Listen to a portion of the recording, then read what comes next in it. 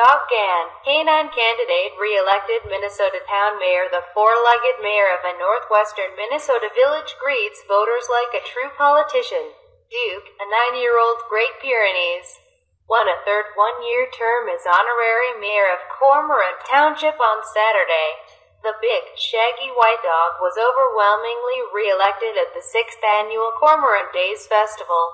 Anyone could pay a dollar and cast a vote. Cormorant resident Karen Nelson says Duke greets everyone who comes to the village of about 20 people nestled among lakes about 180 miles northwest of Minneapolis.